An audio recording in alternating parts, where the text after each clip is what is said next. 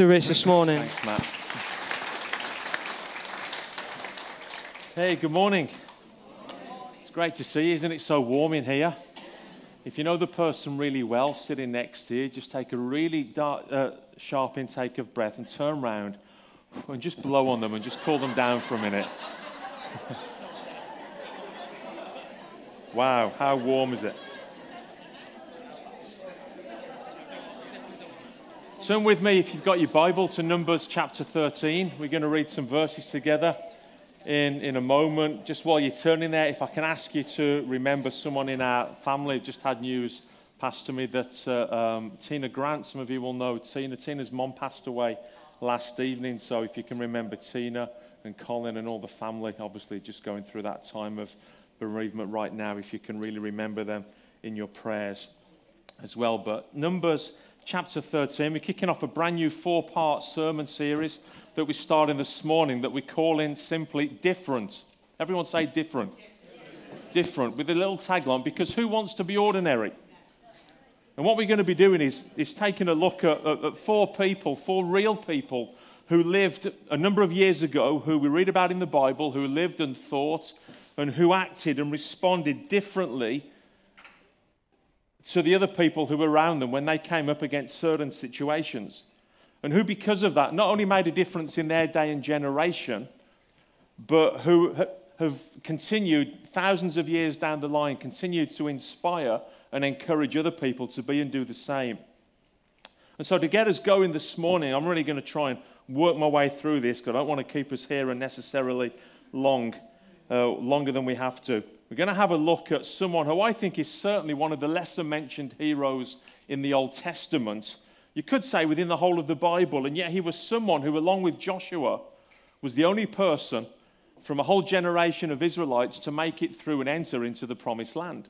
That person, of course, being Caleb. Caleb. So let's read some verses together and then we'll get into the message. Numbers chapter 13. Going to flip through a number of these verses here. Reading from the NLT, picking up from verse 1. The Lord now said to Moses, Send out men to explore the land of Canaan, the land I'm giving to the Israelites. Send one leader from each of the 12 ancestral tribes. And so Moses did as the Lord commanded him. He sent out 12 men, all tribal leaders of Israel, from their camp in the wilderness of Paran. Moving forward to verse 17, Moses gave the men these instructions as he sent them out to explore the land. Go north through the Negev into the hill country.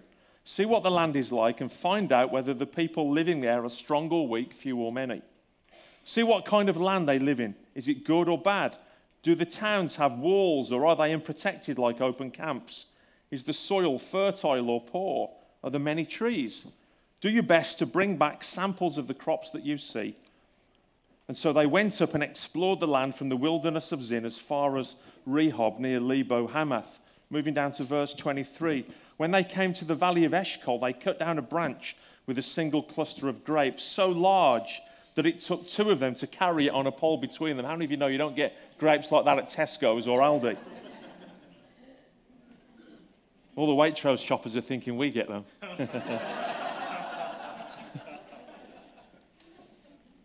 they also brought back samples of the pomegranates and figs that place was called the Valley of Eshcol, which means cluster, because of the cluster of grapes the Israelite men cut there. And after exploring the land for 40 days, the men returned to Moses, Aaron, and the whole community of Israel at Kadesh in the wilderness of Paran. And they reported to the whole community what they'd seen and showed them, and showed them the fruit that they'd taken from the land. This was their report to Moses. We entered the land you sent us to explore and it's indeed a bountiful country, a land flowing with milk and honey. Here's the kind of fruit it produces.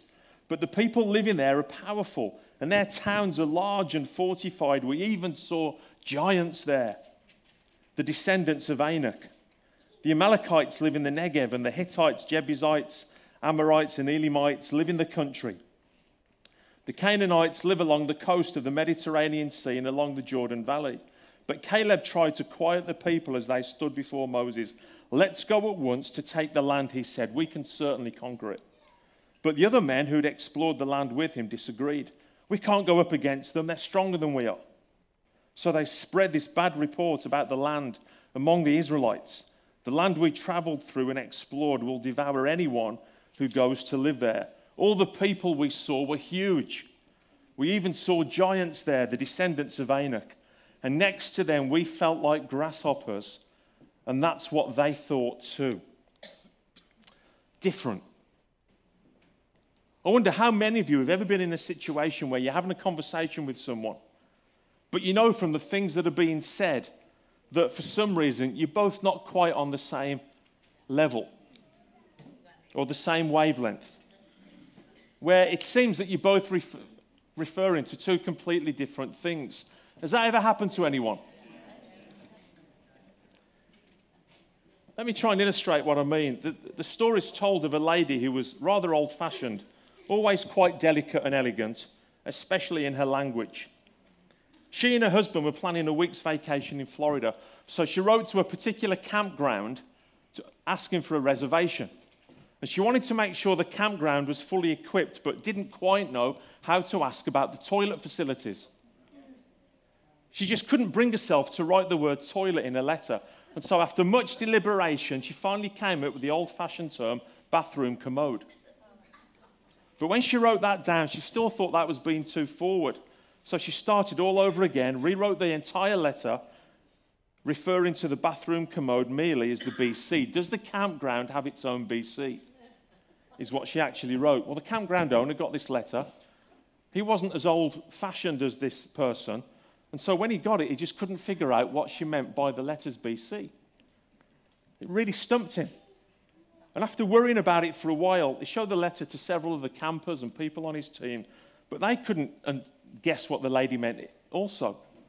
And so the campground owner finally came to the conclusion that there's only one thing she can be talking about, and that must be the local Baptist church.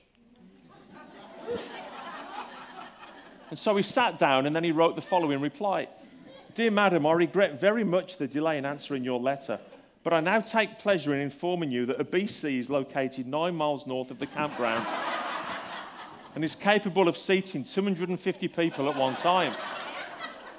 I admit it's quite a distance away if you're in the habit of going regularly. But no doubt you'll be pleased to know that a great number of people take their lunches along and make a day of it. They usually arrive early and stay late. It's such a beautiful facility, and the acoustics are just as marvelous. The last time my wife and I went was six years ago. And it was so crowded, we had to stand up the whole time we were there.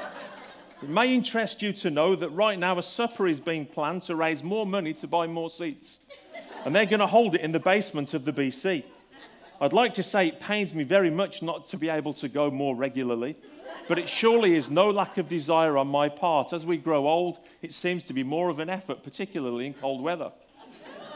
If you do decide to come down to, that, to our campground, perhaps I could go with you for the first time. Sit with you and introduce you to all the other folks. Remember, this is a friendly community. Yours sincerely, the campground owner. Great little story, isn't it? But isn't it funny how people can misinterpret things, how they can be looking at the same situation but see things differently? And I think we've got something like that taking place here in this story, where we've got different understandings taking place over the same situation. Because on one hand, we've got the report from 10 of the spies that went out. And on the other, we've got Joshua and Caleb's report. Exactly the same situation, and yet, some saw it one way and the others saw it another.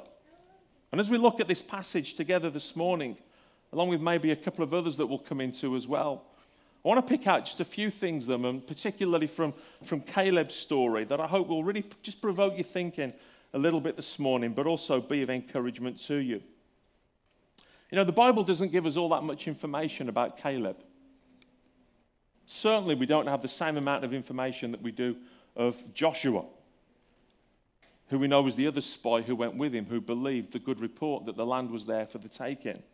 But from the little bits that we do have within Scripture, I think we can build something of a picture to establish what kind of person Caleb was that will encourage us in our walk today. Because the truth of us, all of us have giants to face, don't we, at various times in our lives? Talk to me. Yes. We all have giants to face. We all find ourselves at various times in situations where we've got to make a decision whether we're going to believe God and stand up for him and what we believe, even if that makes us unpopular with those people around us. And that's not always easy, is it? I don't think so, anyway. The very fact that you've chosen to follow Jesus sets you apart as being different to the majority of people around you. You could think about your workplace, perhaps, or your neighborhood, the street where you live. How many other Christians, what we understand by the term Christians, are there with you? You're probably one of a handful of them, if at all. So that puts you in the minority. It sets you apart as being different. But then, like we're saying in this, who wants to be ordinary? Who wants to be like everybody else? You see, we spend so much of our time, don't we, trying to fit in. But I think God is actually calling us to stand out, to be different. So, what do we know about this man called Caleb? Well, we know that he was part of Israel when they left Egypt under, under the Exodus, under Moses, which meant that he'd have been there when God parted the Red Sea. He'd have been around when all the plagues were taking place beforehand, leading up to that Exodus. And so we know that he was someone who saw God's power at work in the most amazing ways. I mean, 10 plagues and the parting of the Red Sea, they don't come much bigger than that, do they? And so Caleb would have been there when these things were taking place. And so these things, I think, undoubtedly must have been key factors in him resolving deep within his heart that Yahweh was the true God, that he was the only and the almighty God, the all powerful one, someone to whom nothing or no one could compare, even the mighty hand of Pharaoh himself. It's just a shame that way of thinking wasn't true for everyone else. Because if it was, then they'd never have ended up missing out on all that God had for them. That whole generation, apart from just two men, died out in the wilderness. How sad is that? Now, we haven't had the privilege of experiencing what Caleb experienced. Has anyone seen mighty plagues just come? Anyone got faith enough to believe the marine lake can just part now? But you know, I believe this is the, the, same kind of place that God desires each one of us who confess to be his followers get to in our lives. When we arrive at this place where we know, not here, not just in our heads, but deep down in our hearts where it really, really matters that He really is God Almighty and the things that we read about in the scriptures and the promises that He makes in there are just as relevant for you and me today as they were for those men and women back then when they first took place. Where He is the one through whom our lives function and really find their truest and deepest meaning. You see, Caleb wasn't just a believer. You see, I'm hoping that all of us this morning can say that we believe in God. But you know, even the demons believe, the Bible tells us. So that doesn't really set us apart, does it? You see, I think the acid test is when we have to, to use a common phrase, put our money where our mouth is and act upon what God has said to us because to do that requires a much more intimate walk and requires us to step out in faith when naturally speaking, it doesn't, things don't seem to be working or going in our favor. Who knows what I'm talking about when I say that? And I think Caleb had something of this, this attitude within his heart. And the reason I say it is because six times we read in these scriptures and some of the passages that we're going to read that Caleb wholly or fully followed the Lord. That's a phrase that simply means to close the gap. In other words, it tells us that he was someone who was committed to keeping his distance between uh, the distance between himself and the Lord at an absolute minimum. And so every inch, every ounce, every nerve and fiber of his being, I think, belonged to God. He kept short accounts when he got things wrong. He brought it straight to him so that there was nothing that was getting in the way between him and his relationship with God. And he included God in everything that he did. I love this quote. The man who kneels before God can stand before anybody. I love that. The man who kneels before God, or the person, the man, the woman who kneels before God, can stand before anybody or anything. And I think that in Caleb we see that to be true. And because of this, as I said before, he trusted God enough to act upon his word to him, hence his desire to go in and take hold and take possession of the land that he knew was his and the people of Israel's. Now, the reason I'm saying all this is because this was the foundation from which everything else that I want to share with you over these next few minutes could happen. Because it seems that this was something consistent in his life, because 45 years later, okay, 45 years later, that's almost my lifetime, and a couple of years later, after Israel finally did enter into the promised land under the leadership of Joshua, Caleb now comes to Joshua, his new leader and tells him it's time for him to claim his inheritance that was promised him long ago. You don't have to turn there with me. Let me read some, some verses. Joshua 14, verses 6 to 14.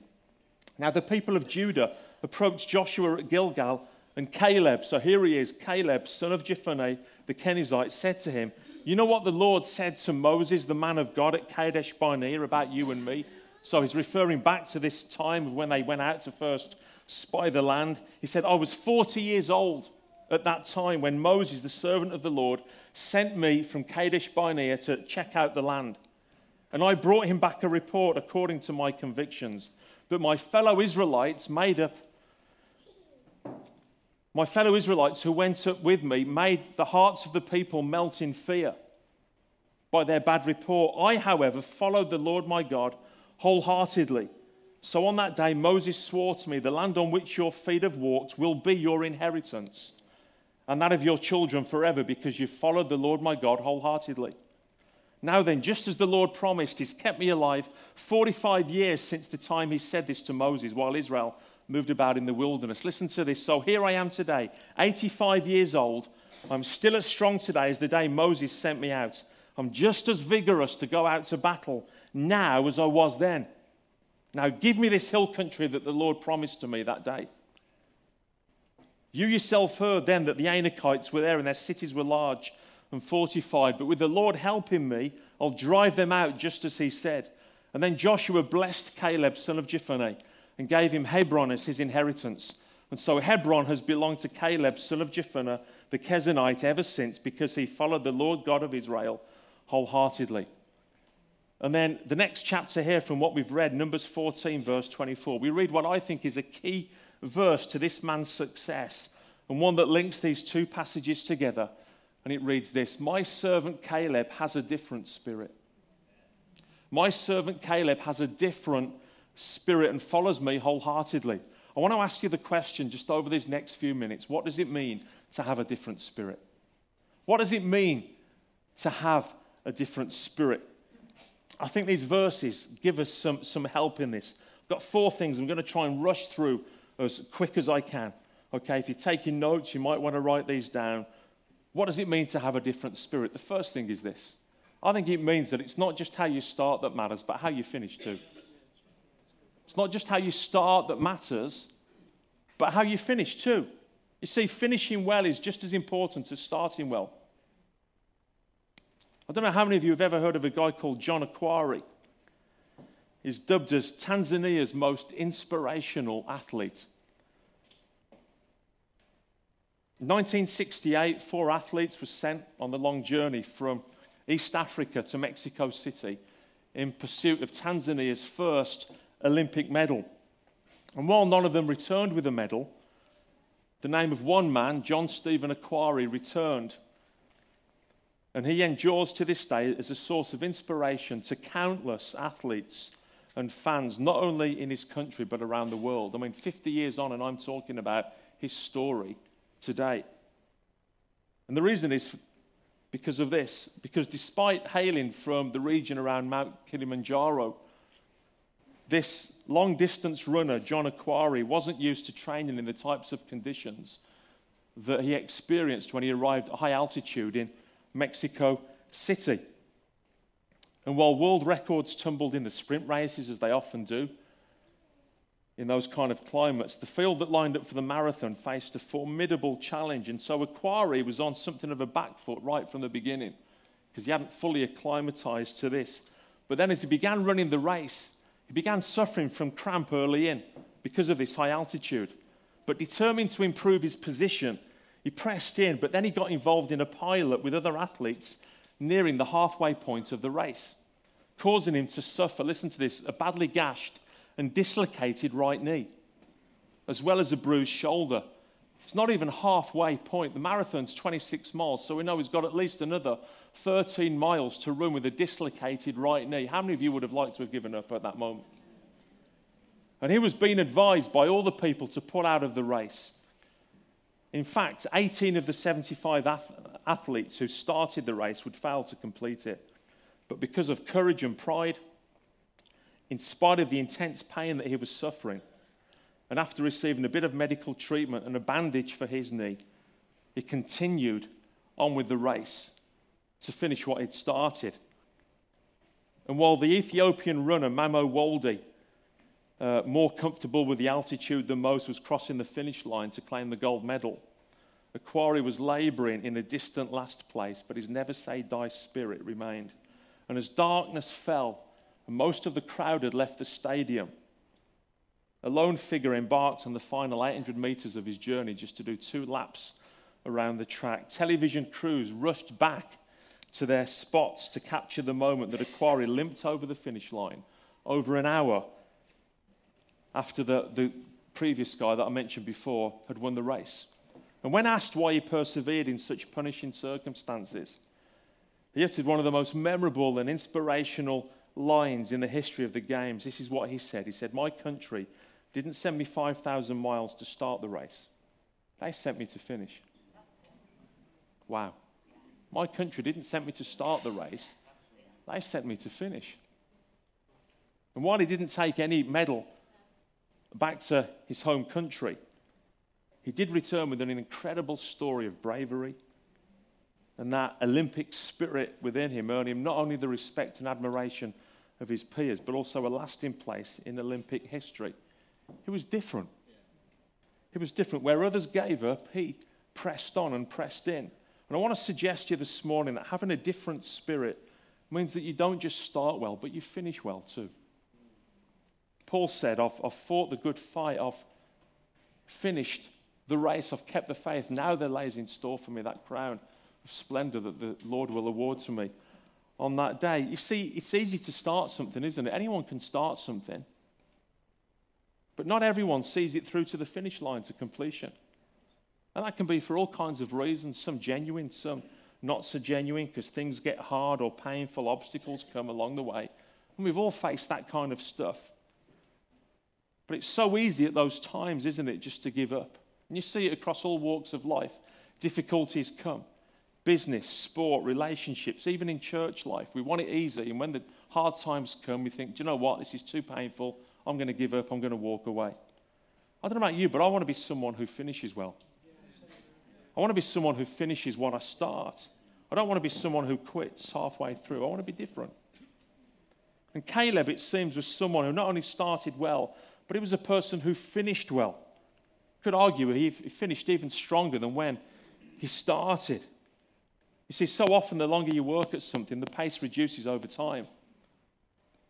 It doesn't speed up, but not so with this man. Even at 85 years old, he's still going full on for God. How many people have we got here this morning, 85 years or older? I know there's one or two. Matt mentioned that work night tomorrow. We've got holes in the car park that need filling up. You up for that, Isabel? Ron? 45 years ago, God promised Caleb a piece of land, and now he's seen the fulfillment of it. Yeah, it took a long time for it to happen. There were a lot of battles for him to still go through in order to take hold of that land. But in the end, God saw it through to completion. Aren't you glad that we serve a God who always finishes that which he starts? Being confident of this, Paul writes to the church in Philippi that he who began a good work in you will what? He will carry on to completion. He always finishes that which he starts. And I think it just makes it so much easier when we partner ourselves with him and say, God, I know this is difficult, but I'm trusting in you because you always finish that which you start. And I don't know what He might have started in your life that you haven't seen the fulfillment of yet. But I want to encourage you this morning continue to hold on to those dreams. If God's promised it to you, He will bring it through to completion. Don't let them go. Keep believing that day is still to come. So it's not just how you start that matters, but how you finish.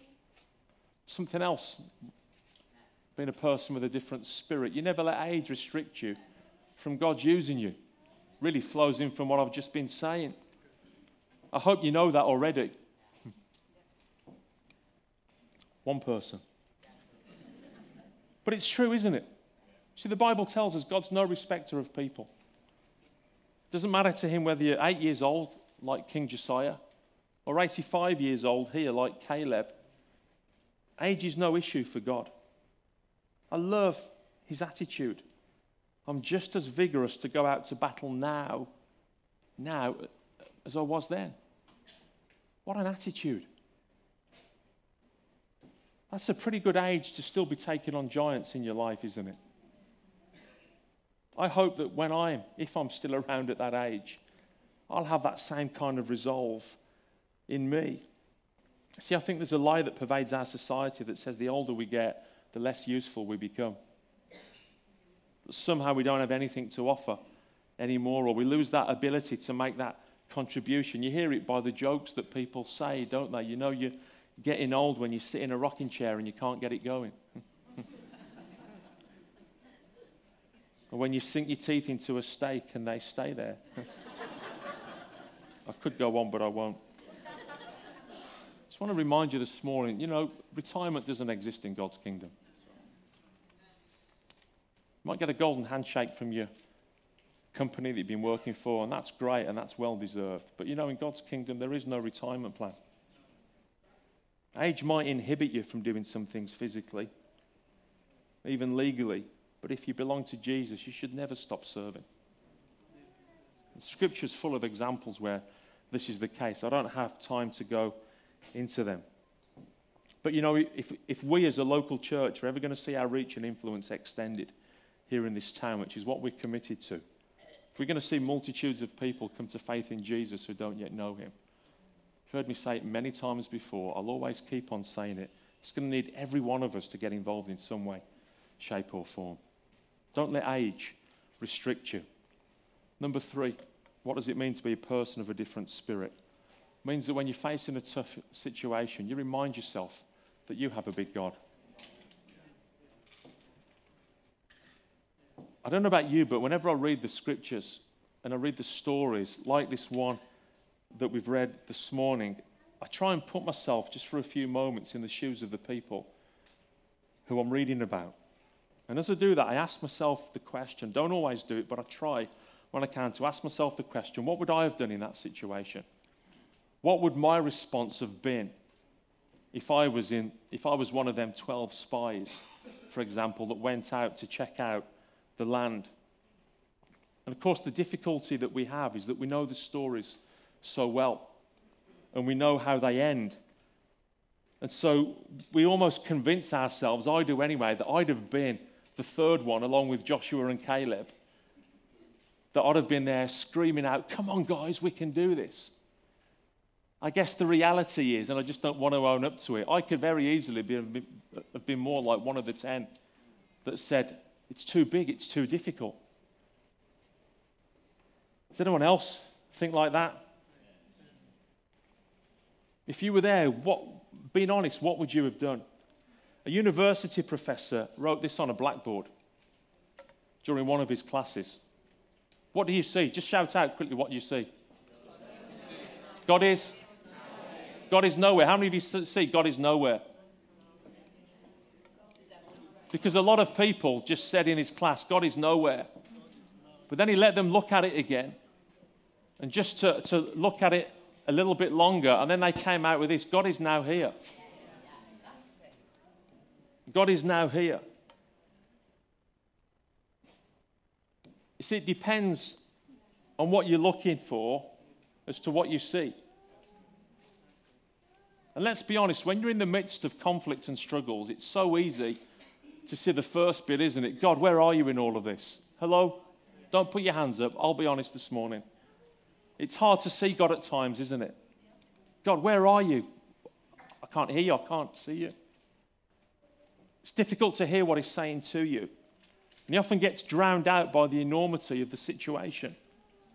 But you know, it's times like this that we need to stop and just take stock of the situation and remind ourselves That even though this is a mammoth mountain that we're finding ourselves up against, that we have a bigger God with us. That it's not a case of God is nowhere. We have to remind ourselves God is now here. And stand on the promises of His word to us. And it's interesting to see how people react when they're going through difficulties, because it's either one of those two.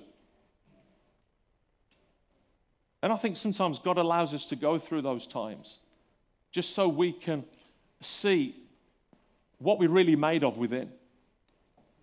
Because He knows already. It's not so God can see, it's so that we can see, isn't it? And hopefully we can see how we've grown and how we, we trust in Him. And we see those two reactions in this story.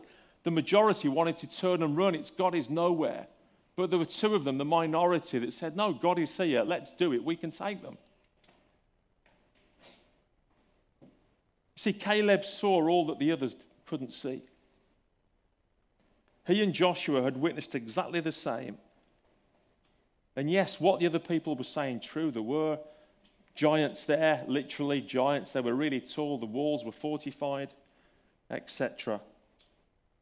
And so what they said was true, but they'd lost all sense of perspective. But Caleb, he comes at it. He's a man of a different spirit. He looks at things differently. He looks at the situations through the eyes of God, not through the eyes of man. And he knew that no matter how big these people were, that God was always bigger. Where others saw giants, he saw God. Where others saw cities walled up to heaven, he saw cities reduced to rubble. Where others saw foes, he saw fruit, the fruit of the land. Same situation, but completely different response.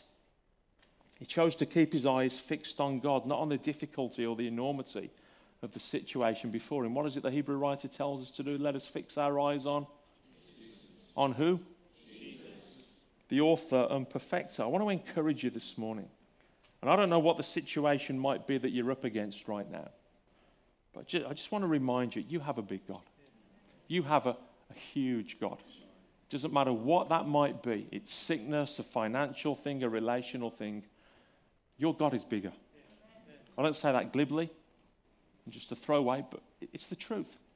And this is where, as the people of God, we either have to stand upon the word of God or we think, do you know what? I'm just going to just go along like everyone else. But I don't want to be like that. I want to be someone who's different. Now to him who is able to do what? Abundantly above all that we can ask, imagine, or think. Do you believe that this morning? I wonder if the band can come back and join me, because I've just got one more thing.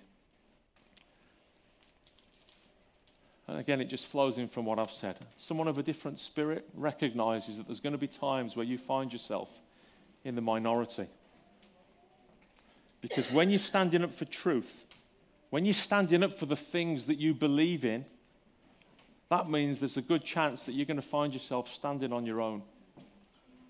And there's no one else around you in those moments. I'm sure you've probably discovered that already. If you haven't, then maybe people don't know yet that you're a Christian. It's time for you to come out. Now, this isn't an easy thing to do. I know that from my own experience. But how can we ever hope to influence others or make an impact on the lives of others if we're not taking stands at various times for the things and the one who we believe in? The truth is, we can't. So I said that, I gave that quote before those who kneel before God can stand before anyone, but those who stand for nothing fall for anything. And you see it time and time again throughout Scripture. But Caleb was prepared to take his stand. He was prepared to find himself in the minority because he was a man of a different spirit. See, the truth is, you can't do it on your own or in your own strength. If you can, there's no need for God. But when we think about our, our mission, our vision here at Lakeside, and that is to, to reach our town with the message of God's love, to reach those people, those giants, maybe that you're finding yourself up against at work or in your neighborhood, maybe even within your family. You need God's help. And we need to learn to become more and more people like Caleb of a different spirit. But my servant Caleb has a different spirit within him.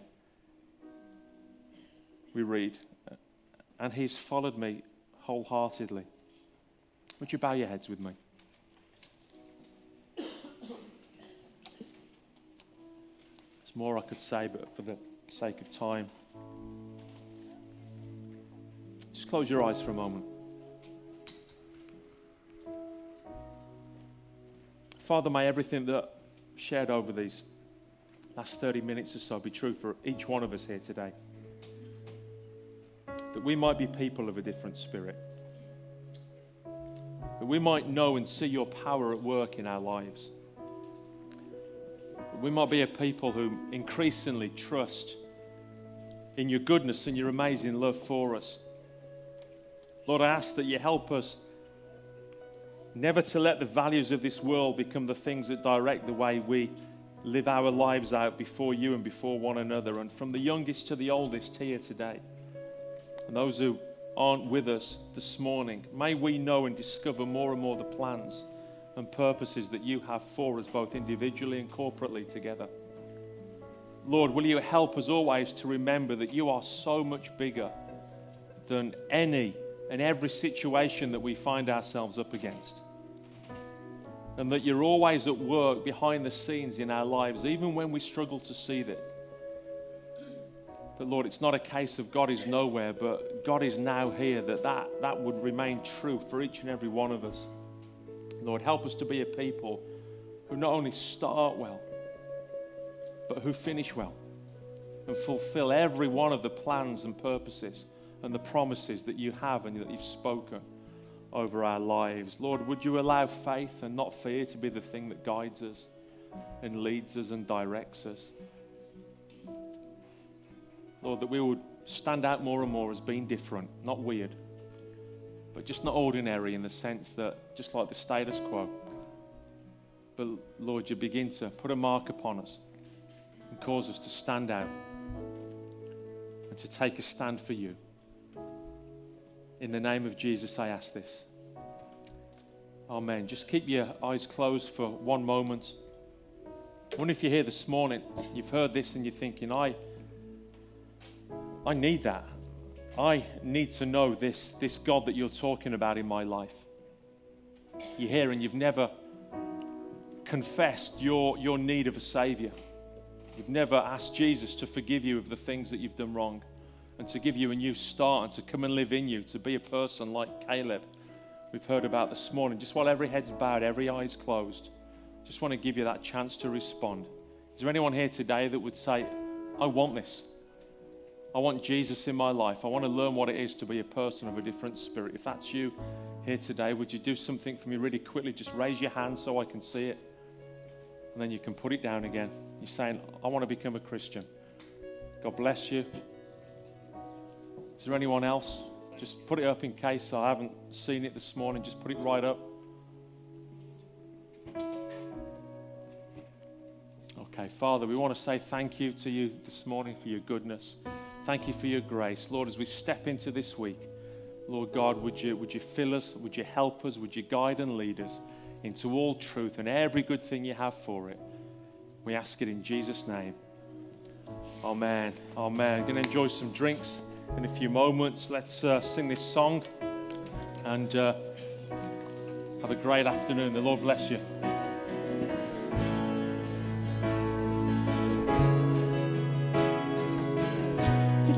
You'd to us.